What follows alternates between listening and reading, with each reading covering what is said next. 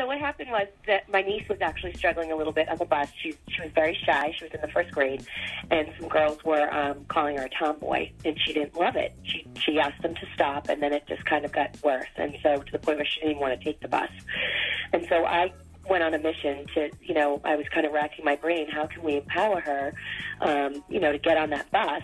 But also not to have conflict with these girls anymore, kind of to stand up for herself, but in a loving and kind way. And I think we do a great job in schools now talking about bullying and whatnot, but we don't you know, I don't know if we necessarily always are giving kids the tools about how to handle it um, in a way that almost spares the bully as well, you know, trying to figure out why are kids picking on other kids. And so um, I happened to come across a t shirt that said, I am not a tomboy, I am an athlete.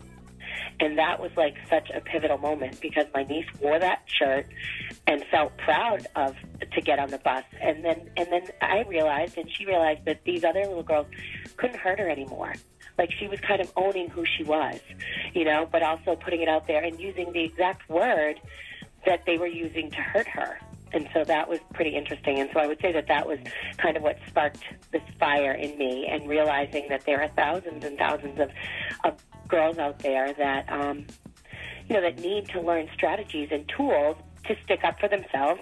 And just kind of, um, it, it turned into this eight eight week series where each week we do a different topic. So we talk about everything from self empowerment to how to be a good friend, um, what to look like, look, what to look for in a good friend. You know, what does that look like to you? Um, someone you can trust, someone that makes you feel good about yourself, someone that you can, someone that's going to have your back as well. You know, I teach girls do the right thing even when no one else does. You know, and sometimes that means standing alone, but not for long because when other kids realize that you're that kid that's going to do the right thing, they're they're going to want to be around you.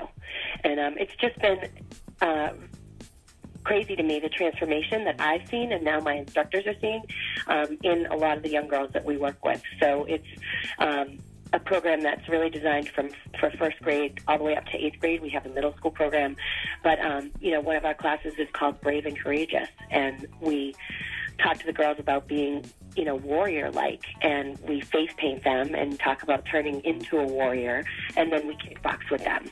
And so it's helping girls too. Each week we give them a different type of fitness.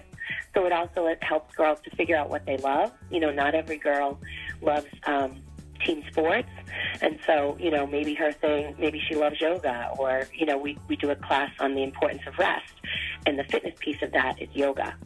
And so, but what we found is that over these eight weeks, change really happens. I have the girls draw a self portrait on week one, and then they draw a self portrait on week eight. And um, sometimes they start, they, they draw themselves like the size of a raisin. And on week eight, their head doesn't even fit the page. So we know that, they, that these strategies work.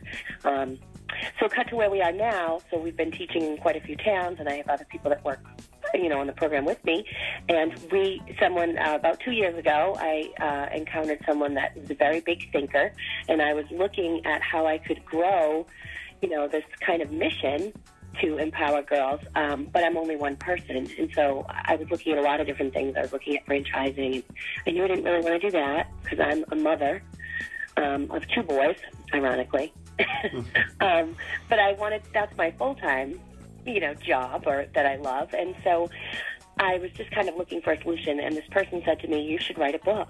And so we did that. So I've spent the last two years writing a book, and um, it, it actually turned into two books. So it's a guide for parents and instructors, and then we have a spiral bound um, journal type of workbook for the girls. And the vision is that now if I have a, you know, I do a lot of work with Girl Scouts and Girl Scout leaders. Um, and so if I have a Girl Scout leader in California that wants to do this program with her, you know, with her troop, with her girls, she can buy the guidebook and then she can get workbooks for each of the girls. And then they can do our entire program. It has all of the lessons, um, it, the strategies. It's um, got a lot of stories in it. Uh, Christine Basil, who's um, you know, an educator in Hopkinton. She's a great friend of mine. She actually wrote the foreword on the book for me, um, part of her personal story. So um, we're super excited about it. Excellent. And we're just kind of trying to ask for local, you know, um, organizations like yourself to kind of help us to get the word out there. So now people know because maybe we teach at Elmwood on Tuesdays. Maybe, you know, there are girls out there, I know there are, that, you know, maybe they have gymnastics on Tuesdays or, you know, even just local people. Now they can really um, have the tools and get all of this great information without, you know, having to be in our classroom. You know, we love them in our classroom, but I want to just have this out there for everyone to benefit from. Terrific. Now, if someone wanted to find out more about the program and get involved, where could they go? They can go to our website, girlpowergo.com. And that has all the information about the program and then the classes to register. And they can, and there's um, contact information on there, or they can email us either at info at girlpower.com or Erin at, uh, at girlpowergo.com. All right. Now, when does the program take place? So it takes. Uh, it just depends on who we're working with. So with Girl Scouts, for example, kids' schedules are so crazy. So we actually cater to whenever they have their meetings. So we, you know, I've taught in people's basements. We've taught in churches. Um, it just depends on what we we work through Parks and Recs. Um, in Hopkinton, we work.